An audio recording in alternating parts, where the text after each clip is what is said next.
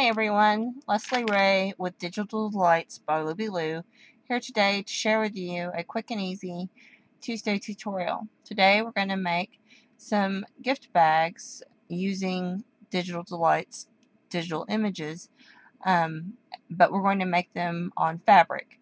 And to do this, you need um, your digital stamps, which I want to use the Reindeer Kittles and the Happy New Year Dumpling and you need something either a photo fabric paper um, which allows you to print with your with whichever printing method you want um, or something like transfer artist paper.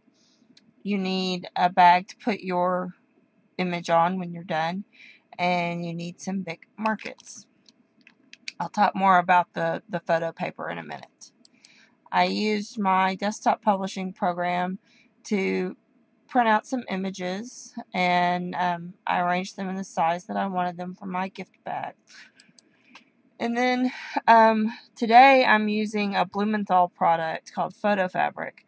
Um, but you could also, there's several products on the market that will allow you to print stuff from your computer onto fabric or some kind of iron-on transfer. And how you use them will depend. Today I'm using the photo fabric paper. Um, and this is paper that is kind of a, a poplin kind of consistency. Um, and I'll be able to print on it and color on it. And I want to, and the reason I want to use this is because I wanted to show you some things you need to think about when you're using markers to color on paper. Um, to complete your gift bag when you're done, you'll just simply adhere it to your fabric, how the instructions on your package say. Each one is different, so I'm not going to go into that much detail on that. Um, I'll simply show you the finished product at the end. But I want you to consider how you color.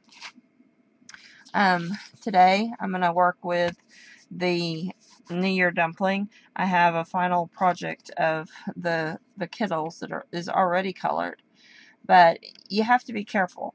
And what I did is I used the Bic markers, and in using the Bic markers, I found that there is a factor of bleed. Um, what I mean by that is, for instance, we have these two red markers. This is the fat marker, and so when I do this, or I make a line down, you can see how much it bleeds out.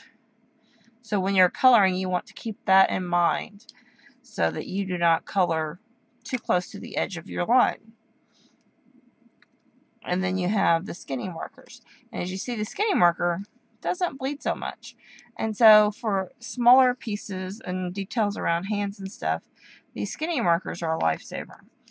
So I've pulled out a variety of markers that I want to use. And I'm going to start coloring. And what I found is that if I color close to the line, but not all the way, and when I come back later, some of the ink will have bled all the way to my color line.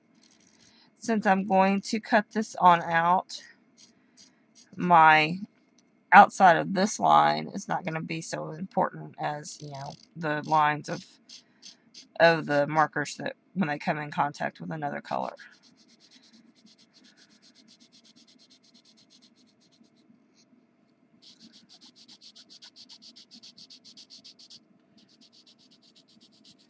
Now, depending on how dark you want your project, depends on how much you want to go back.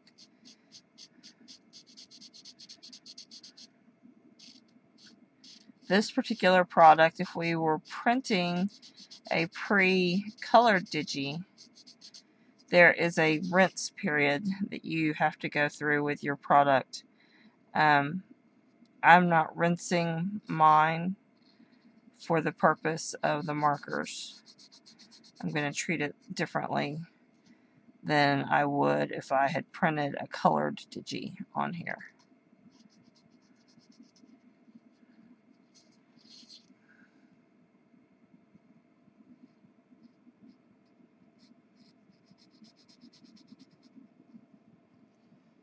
Okay. Now there's some more places down here, but I'm just going to kind of dot at them because I'm going to come back with my skinny marker to get close to the details.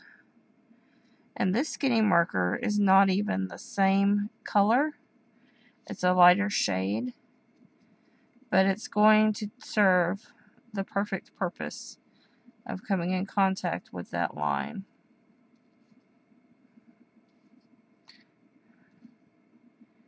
And don't fret if while you're doing this your lines start bleeding on you.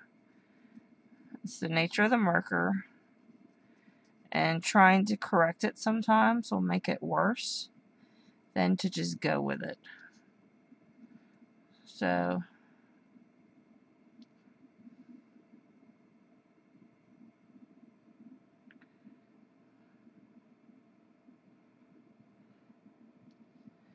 I recommend printing out two just in case. You never know when your marker is going to get extra extra juicy and you need a, a spare on hand.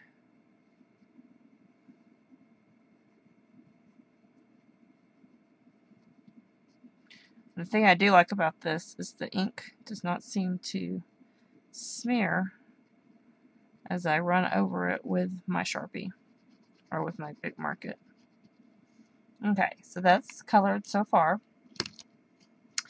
I want to color his hat band red. So I'm going to go ahead and color the center part of that red.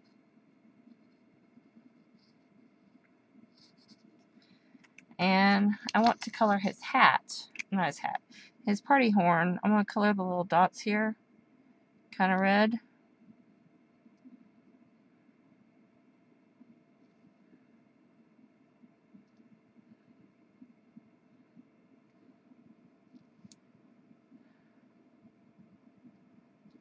So see, playing with the skinnier markers, you notice they don't bleed near as much as the the big markers. And it allows for more attention to detail when you get to things. So just kind of play with your markers. This is what the big markers do for me. I like them a lot.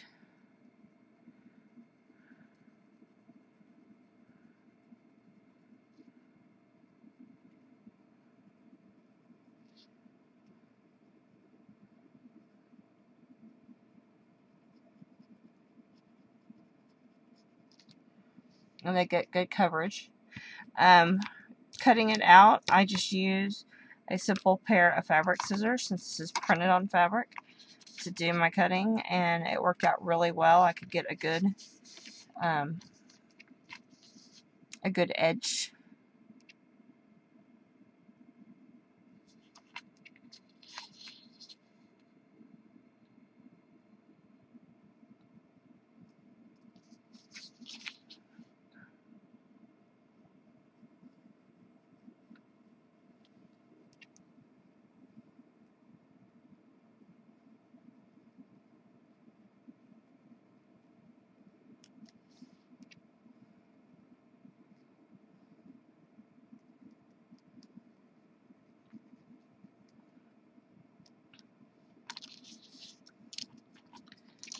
So here is just the base of our baby.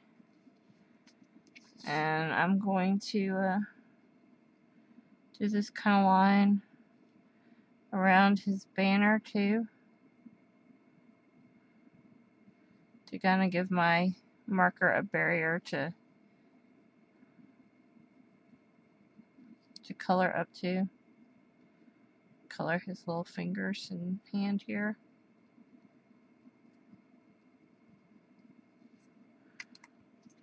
And then I can bring out my peach to finish. So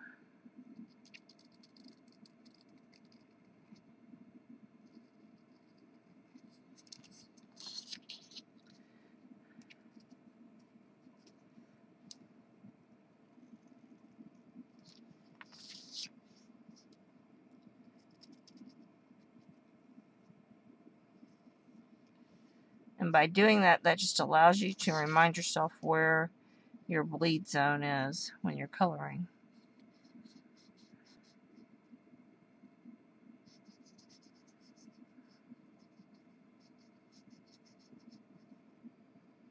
so as not to have to worry too much about that.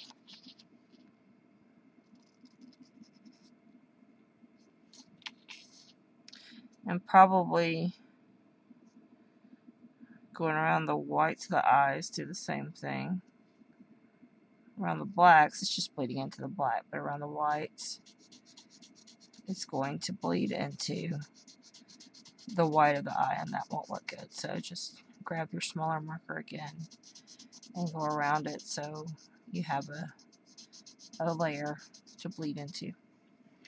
So, you kind of get the idea. I'm going to show you again. Here is the little reindeer that I finished. And you'll notice in places that I still went in and did some shading um, just to kind of give it a little more depth. But when I put him on my bag, you won't even notice some of the little areas where the ink bleeded over, just a smidge. So, but like I said, finish off your project after you're finished and you've got him all lined and nice and trimmed out. Finish him by following the directions on the back of the package. For instance, this one has you peel off this back layer and stick it on and then sew it in or um, you know, use an iron-on adhesive with it. So I'm going to use some, some Stitch Witchery to, to stick it on and come back later and show you a little bag in my final project. So thank you for looking at the tutorial. Remember when you're working with fabric papers and such, you know, account for your bleed factor. This bleed up here is okay because I'm going to trim that out. But a bleed into the face of the little guy would not be as um, as welcome because it would, you know, you'd have like black going down his face. It would be a bad thing. So I hope these tips help. And um, I can't wait to see what Christine shares with us next week. I hope everybody in the States has a happy holiday with the Thanksgiving. And um, I'll come back with some more ideas for Christmas gifts in two weeks. Thank you for sharing. Thank you for looking.